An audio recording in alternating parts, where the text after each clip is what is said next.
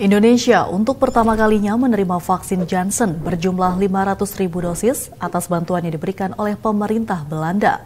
Vaksin Janssen telah memperoleh izin penggunaan darurat atau Emergency Use Authorization dari Badan Pengawas Obat dan Makanan BPOM RI pada 7 September 2021.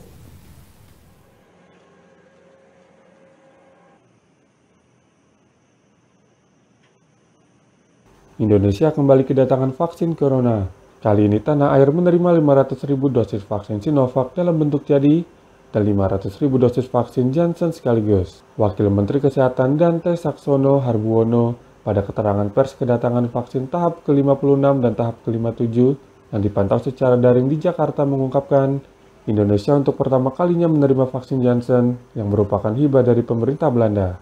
Adapun dukungan kerjasama Belanda tersebut merupakan yang ketiga kalinya di mana sebelumnya Indonesia telah menerima 657 ribu dosis vaksin AstraZeneca.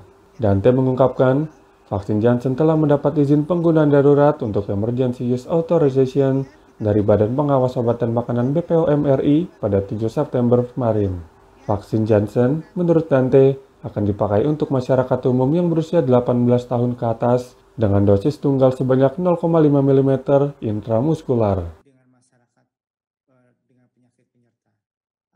Di tahap awal ini, vaksin Janssen akan didistribusikan ke daerah aglomerasi. Dengan kedatangan dua vaksin ini, pemerintah optimis dapat mempercepat laju vaksinasi dan harapannya bulan ini kita dapat mencapai 2 juta dosis vaksin per hari. Dengan kedatangan vaksin tersebut, Dante merinci, Indonesia telah memiliki total vaksin lebih dari 232 juta dosis, baik dalam bentuk bahan baku maupun bahan jadi. Dante juga mengimbau pemerintah daerah untuk mencari terobosan baru untuk mendorong percepatan vaksinasi bagi kelompok masyarakat, terutama untuk yang berusia lanjut dan masyarakat dengan penyakit penyerta hingga masyarakat rentan.